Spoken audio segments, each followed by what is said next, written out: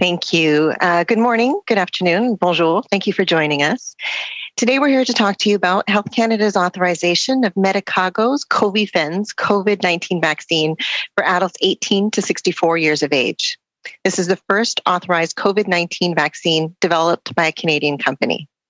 After an in depth review of the evidence, we've determined that this vaccine meets the department's stringent safety, efficacy, and quality requirements.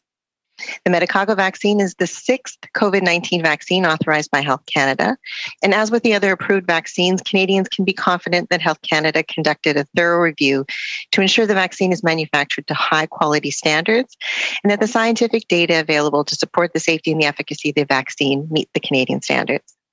Detailed information on Health Canada's review is available on the COVID 19 vaccines and treatment portal at covid vaccine Canada.ca. Medicago's vaccine is a plant plant-based vaccine called a virus-like particle vaccine.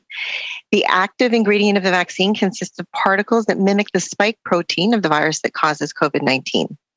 The virus-like particles are grown in plants that are similar to tobacco plants, which can produce large amounts of the virus particles in a short period of time. Once these particles are injected into the body, they trigger the immune system to produce antibodies against the virus. These virus like particles mimic the natural structure of the virus without its genetic material, which makes a person's immune system able to recognize the particles without causing infection. So, through this process, the body can mount a strong immune response against the protein without exposure to the entire virus that causes COVID 19 and with as with all other COVID 19 vaccines, it is not possible to catch COVID 19 from this vaccine. There are other vaccines that use virus like particles, such as those for HPV or human papillomavirus and hepatitis B, but these are not manufactured using plants.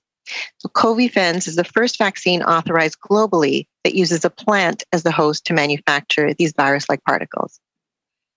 In clinical trials of about 30,000 people, the Medicago vaccine was found to be 71% effective against symptomatic COVID 19. It was also 100% effective against severe disease caused by COVID 19. This is when the vaccine is given according to the authorized dosing regimen, that is, two doses, 21 days apart. Clinical trials were conducted while there were various variants in circulation, including the alpha, gamma, lambda, delta, and mu variants. The data suggests efficacy against all of these variants. Preliminary laboratory data also shows that the vaccine produces neutralizing antibodies against the Omicron variant. As a term and condition associated with the authorization, Medicago is required to provide data regarding protection against current and emerging variants of concern as soon as it's available. Since the phase three vaccine clinical trials were conducted at a time where a large proportion of older people were already vaccinated, there was a limited number of participants above the age of 65 in the trials.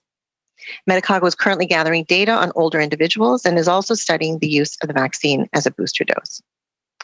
With respect to safety, common side effects with this vaccine include pain and tenderness at the injection site, headache, muscle pain, fever, and chills. The majority of these adverse reactions in clinical trials were mild to moderate in severity and resolved within a few days. Also, these side effects are typical with most vaccines.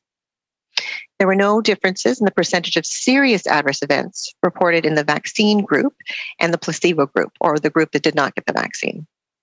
Summaries of this information can be found on the Health Canada website. And today, Health Canada has published multiple documents on the COVID 19 vaccines and treatments portal related to this approval. And those include a high level summary of the evidence we reviewed, the Canadian product monograph, product labels, as well as the terms and conditions associated with the authorization. So, with six vaccines currently authorized, Health Canada and the Public Health Agency of Canada are continuing to actively monitor their safety in the real world. We monitor for any adverse events or side effects in collaboration with the provinces and territories, international partners, as well as the manufacturers. And as with all vaccines, we will take action if any safety issues are identified. Ongoing reporting of any potential side effects is critical to supporting this monitoring, and Canadians can report any possible side effects to their healthcare professionals. Today's authorization provides an additional option to fight this pandemic. It has been almost two years since the pandemic began, and we are all eager to get back to regular life as much as and as quickly as possible. On top of continuing to follow public health guidelines, I urge everyone to continue to do their part and get vaccinated. It's never too late to get your first second, or third dose. Thank you. Merci. Miigwech. Bonjour. Merci de vous joindre à nous. Nous allons aujourd'hui vous parler de l'autorisation par Santé Canada du vaccin contre la COVID-19 Covifense de Medicago pour les adultes de 18 à 64 ans. Il s'agit du premier vaccin homologué contre la COVID-19 à être mis au point par une entreprise canadienne. Après un examen approfondi des données probantes, nous avons déterminé que ce vaccin répond aux exigences rigoureuses du ministère en matière d'innocuité, d'efficacité et de qualité. Le vaccin de Medicago est le sixième vaccin contre la COVID-19 homologué par Santé Canada. Comme pour les autres vaccins homologués, les Canadiens et les Canadiennes peuvent avoir l'assurance que Santé Canada a mené un examen exhaustif afin de s'assurer que le vaccin est fabriqué selon des normes de qualité élevées et que les données scientifiques à l'appui de l'innocuité ainsi que de l'efficacité du vaccin sont conformes aux normes canadiennes. De l'information détaillée sur l'examen de Santé Canada est affichée sur le portail des vaccins et des traitements contre la COVID-19 à l'adresse vaccin-covid.canada.ca.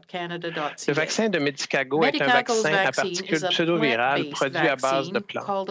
Le vaccin a comme ingrédient actif des particules qui imitent la protéine de spicule du virus.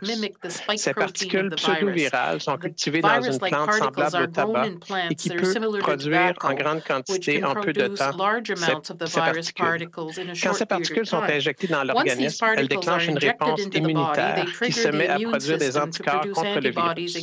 Ces particules pseudovirales imitent la structure naturelle du virus, mais sans son matériel génétique, ce qui permet au système immunitaire d'une personne de les reconnaître sans possibilité d'infection. Ce processus permet à l'organisme de développer une forte réponse immunitaire contre la protéine de spicule sans exposition au virus qui cause la COVID-19. Il n'y a aucune information génétique dans le vaccin COVID-19. Comme pour les autres vaccins contre la COVID-19, il n'est pas possible de contracter la COVID-19 à partir de ce vaccin. Il existe d'autres vaccins à particules pseudovirales, comme les vaccins contre, la, contre le virus du papillome humain et contre l'hépatite B, mais ceux-ci ne sont pas produits par des plantes. Le vaccin Covifense est le premier vaccin homologué par Santé Canada et le premier vaccin au monde qui utilise des plantes comme hôtes pour la fabrication de particules pseudovirales. Lors de ces cliniques menées chez environ 30 000 participants, le vaccin de Medicago s'est montré efficace à 71% pour la prévention de la COVID-19 symptomatique et à 100 pour la prévention de la COVID-19 grave lorsque le vaccin est administré selon le calendrier des doses approuvées, c'est-à-dire deux doses à 21 jours d'intervalle. Les essais cliniques ont été menés alors que de nombreux variants étaient en circulation, notamment les variants alpha, gamma, lambda, delta et Selon les données, le vaccin serait donc efficace contre ces variants. Sur la base des données de laboratoire préliminaires, le vaccin entraîne aussi la production d'anticorps neutralisants contre le variant Omicron. L'homologation du vaccin de Medicago uh, inclut des modalités qui requiert euh, à l'entreprise de fournir dès que possible des données sur la protection contre le vaccin, contre les variants préoccupants actuels et émergents. Puisqu'ils ont été menés alors que les aînés étaient déjà en grande partie vaccinés, les essais cliniques de phase 3 ne comptaient qu'un nombre limité de participants de plus de 65 ans. Medicago recueille actuellement des données sur l'utilisation chez les aînés et étudie aussi l'utilisation du vaccin comme dose de rappel. Santé Canada publie aujourd'hui sur le portail des vaccins et des traitements contre la COVID-19. de nombreux documents concernant cette homologation, dont un sommaire des données probantes examinées, la monographie canadienne, les étiquettes de produits ainsi que les modalités de l'autorisation de mise en marché. Pour ce qui est de l'innocuité du vaccin, les effets secondaires courants incluent la douleur et la sensibilité au point d'injection, les maux de tête, les courbatures, la fièvre et les frissons. La majorité des effets indésirables observés lors des essais cliniques étaient légers ou modérés et se sont résorbés en quelques jours. Il s'agit d'ailleurs d'effets secondaires typiques à la plupart des vaccins. Aucune différence des taux d'effets indésirables graves rapportés n'a été observée entre les groupes de participants ayant reçu le vaccin et ceux ayant reçu le vaccin placebo. Santé Canada et l'Agence de la santé publique du Canada continuent de surveiller activement l'innocuité des six vaccins homologués. En collaboration avec nos partenaires provinciaux, territoriaux et internationaux, ainsi qu'avec les fabricants, nous surveillons tout cas de réaction indésirable ou d'effets secondaires. Comme pour tous les vaccins, nous prendrons des mesures si des problèmes relatifs à l'innocuité sont, sont identifiés. Le signalement de tout effet indésirable possible est essentiel pour appuyer cette surveillance. Les Canadiennes et les Canadiens peuvent signaler tout effet secondaire possible à leurs professionnels de la santé. L'homologation d'aujourd'hui nous fournit un nouvel outil pour combattre la, combattre la pandémie qui sévit déjà depuis près de deux ans. Nous avons tous et toutes hâte de pouvoir retrouver au plus tôt des vies aussi normales que possible. J'encourage tout le monde à contribuer aux efforts de lutte contre la pandémie. Il est important de continuer à respecter les directives de santé publique et se faire vacciner. Il n'est jamais trop tard pour recevoir une première, une deuxième ou une troisième dose de vaccin. Merci. Thank you. We'll move to questions. Uh, if you have a question, please your ra- raise your hand on the Zoom platform so I can acknowledge. Uh, we'll begin with uh, Mac- Maxime Denis from TVA.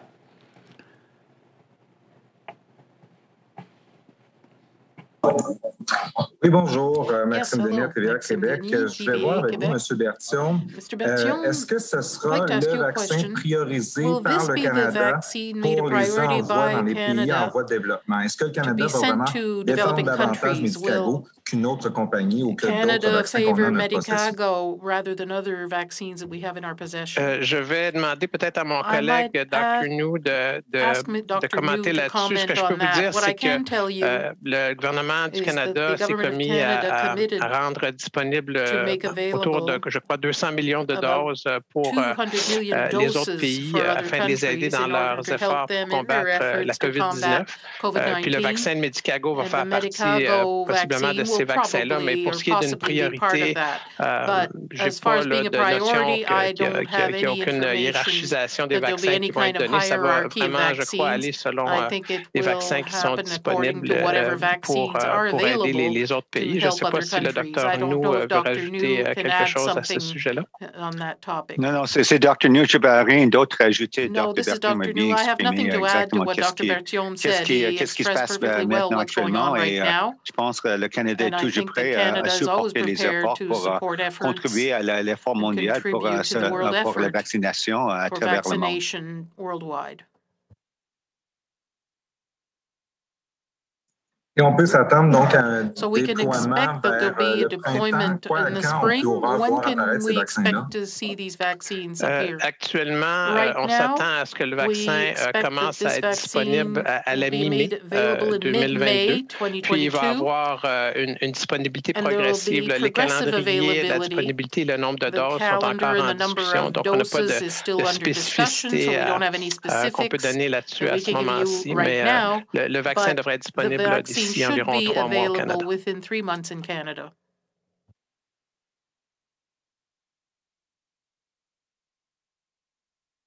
Thank you. We'll move to uh, Jamie Mauracher, Global News. Hi, all. Thank you for taking my question. I'm just going to first ask that you uh, repeat repeat the um, previous question about sending the vaccines to developing nations, perhaps to COVAX uh, in English if possible, and then I'll go to my question. It's uh, Dr. Njoo. Uh, between Dr. Berthiaume and myself, uh, certainly uh, Canada is committed to, to the global effort to, to be able to uh, supply vaccines across the world. And I think we've committed to the equivalent, I think, uh, over 200 million doses to, to COVAX in, in the international effort. certainly, the Medicago, this new vaccine that's been approved here in Canada, would be part of, of that, that, that contribution. But I guess to the, to the question as to where it sits, you know, is there a hierarchy or prioritization. Uh, we can't speak to that. Obviously, it's in the mix along with all of the other uh, uh, vaccines that are currently approved in Canada as well. So that that's all we can say at this point. Thank you. Okay, thank you so much. Uh, my question is. Um, we, we've seen from NACI that they've consistently recommended an mRNA vaccine over the other types of vaccine. Is that still the case um, with this plant based technology? Still, the recommendation is to go with an mRNA vaccine?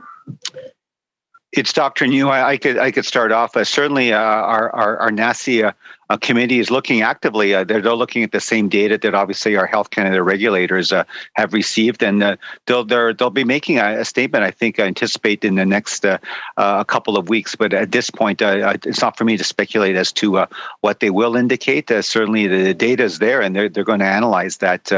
but you're right. to, to to date, with respect to the vaccines that are currently available in Canada, they have indicated a sort of a preference for the mRNA uh, vaccines, uh, both from sort of a effectiveness point of view, but also because of their well-known uh, safety profile. But uh, it remains to be seen uh, uh, when they come out with their their their statement and recommendations with respect to the Medi- Medicago vaccine. Okay, I have other callers, but no hands raised. Is that it for questions then? Please raise your hand. I'll give it a few more seconds here.